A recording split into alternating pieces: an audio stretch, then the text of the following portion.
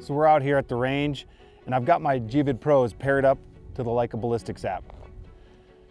On the home screen, select the gun profiles. You can obviously see what the current gun profile is by the red check mark.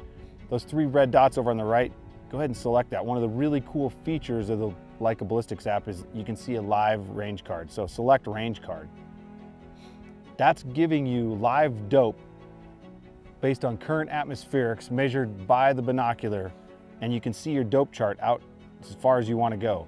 Down on the bottom, you can, you can see range card settings. If you select that, you can see your minimum distance, max distance, and your distance increments. I've got mine set selected at 100 yards. Close out of that. And you can also change your wind speed. So if you select wind speed, let's just enter a 10 mile an hour wind. Boom, you can see how your dope is corrected based on a 10 mile an hour wind coming at nine o'clock, three o'clock, one o'clock. You have the clock right there in the top right where you can select your wind direction. Simple as that. So as I range, you're gonna see the range come up, a live range based on current atmospherics and my dope corrected throughout. So let's give that a try.